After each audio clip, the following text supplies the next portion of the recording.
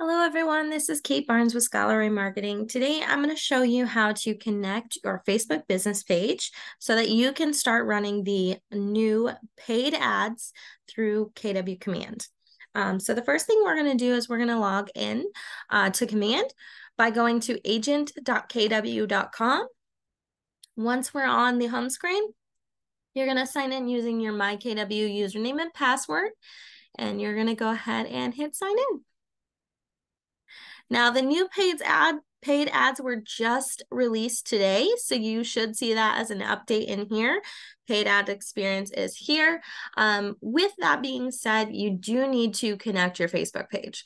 Um, if you were already previously connected for paid ads within your command settings, you will still need to reconnect your Facebook business page to get started with the new paid ads. Um, so once we're logged into command, we're going to head over to the campaigns applet. Once we are there and that has loaded, you're going to see that alert again. You can click learn more um, to find out, you know, additional information.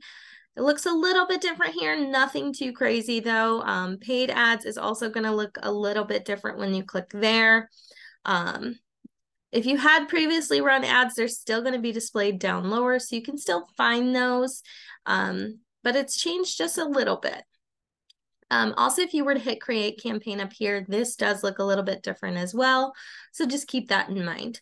Um, so the first thing we're going to do though is we want to go ahead and get our business page connected to Facebook or to command so that we can start running those ads. Um, so the first thing I'm going to do is I'm actually going to click back to dashboard and just going to click paid ad quick start. Once I'm there, you're going to notice that it's no longer staying in command. It's taking you to another uh, window, which is a new platform.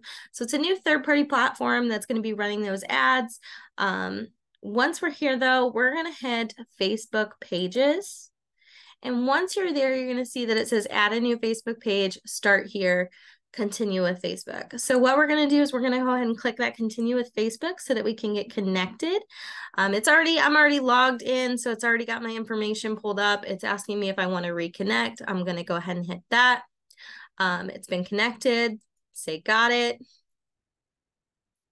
The next thing I'm going to do is it's going to show my available pages that I have to uh, link to. So I'm going to go ahead and hit this old one that I had on my Facebook, um, and I'm going to go ahead and hit select it's going to go ahead and link that page. Um, please keep in mind that you do have to be an admin of the page that you're trying to link to in order for that connection to work. Um, it says, congratulations, connectivity with your page is all set up and working properly. Um, I had already previously done this this morning, so I had already accepted the Facebook lead form terms of service. So just know that if you hadn't already done that, it is going to have you go ahead and accept those. Um, once I'm all done though, I'm going to be linked. Everything's green. It's got a check mark. If I decide that I linked the wrong page, I can go ahead and hit unlink and it will remove that. Um, I can also add an additional page if I need to. So say I have two different business pages that I'm running real estate related, I can go ahead and link that page here as well.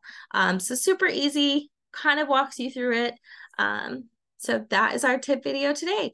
Uh, if you have any questions or if there are any tip videos you'd like to see, feel free to reach out to us at support at scottleroymarketing.com and we'd be happy to help.